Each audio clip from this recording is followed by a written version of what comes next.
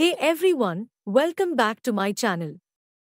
In today's video, I'm going to talk about lab-grown diamonds keep watching. Lab-grown diamonds also referred to as cultured or synthetic diamonds are diamonds that are created using cutting-edge technology in a laboratory setting instead of being mined from the Earth's crust. These diamonds are formed by simulating the natural process that takes place within the Earth's mantle, where diamonds are typically found.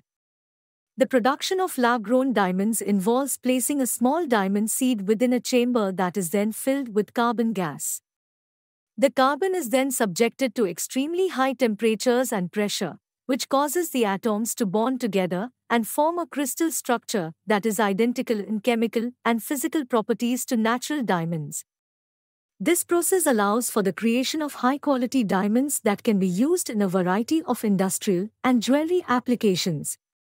One of the primary benefits of lab-grown diamonds is that they are more environmentally friendly than mined diamonds, as they do not require any mining activities that can cause damage to the environment and contribute to pollution. Additionally, lab-grown diamonds are often less expensive than natural diamonds, which makes them an attractive option for those who want the look and durability of diamonds without the high cost. That's it for today's video on lab-grown diamonds. I hope you found this information useful. If you enjoyed this video, please give it a thumbs up and subscribe to my channel for more content.